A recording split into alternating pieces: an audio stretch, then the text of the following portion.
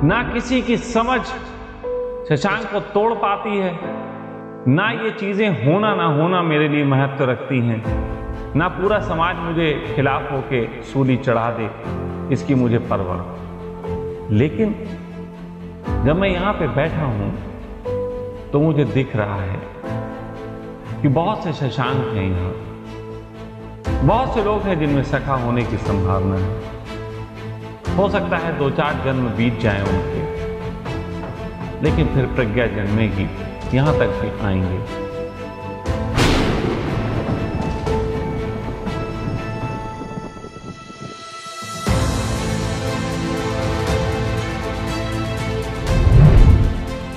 मैंने कई बार कहा है, और ये शास्त्रों में भी उल्लेख है इनके, कि समाज और धर्म का मतलब ही ये होता है जहाँ पे हर व्यक्ति की चेतना को खिलने के अवसर मौजूद हो।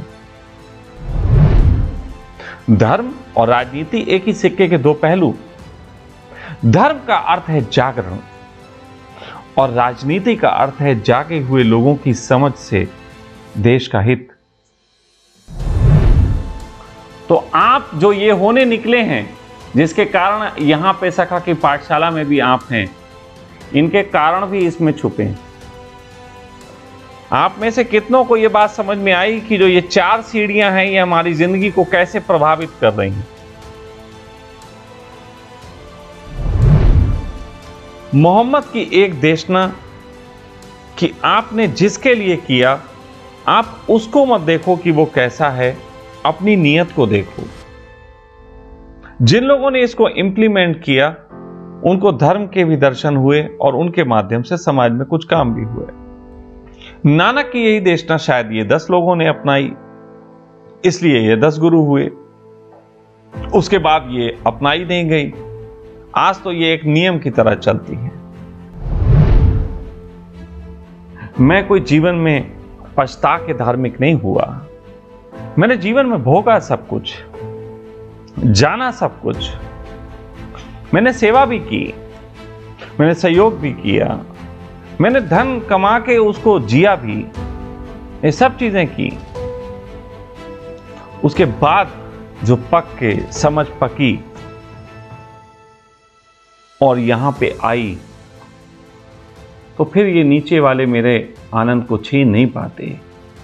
ये बात सुनना कि कोई तुम्हारे द्वार पे आए और खाली हाथ लौट जाए, अगर तुमसे उम्मीद से भरा आया। मैं कहता हूँ, प्रयास करो। धार्मिक लोगों का सामाजिक संगठन होना चाहिए। सिर्फ़ इसमें शामिल वही लोग होने चाहिए, उनके मार्फत काम होना चाहिए जो धार्मिक हो। कोई पूछे कि तुम्हें हुआ क्या है? तुम इतने प्यारे कैसे हो? या ध्यान कैसे करते हैं? मुझे भी बताइए तो अवश्य बताओ। लेकिन कुंडी बजा बजा के ध्यान मत करवाओ।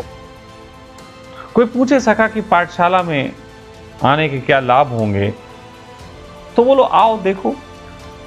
लाभ मत गिनवाओ। लाभ तो फिर तुमने लालच से बुला लिया।